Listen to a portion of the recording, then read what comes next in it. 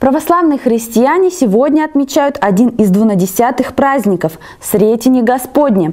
В этот день принесли младенца Иисуса Христа в Иерусалимский храм. Сегодня во всех церквях города прошли службы. Это событие евангельское, которое произошло на сороковой день после э, того, как Спаситель Иисус Христос родился в этот мир. По ветхозаветному установлению всех младенцев мужского пола, первенцев, приносили в храм для посвящения Богу. Творец закона, установитель закона, Бог сам пришел в этот храм, был принесен руками своей матери, Богородицы Марии, и там его встретил вот откуда и название «Сретение», по-славянски это, по-русски это «встреча».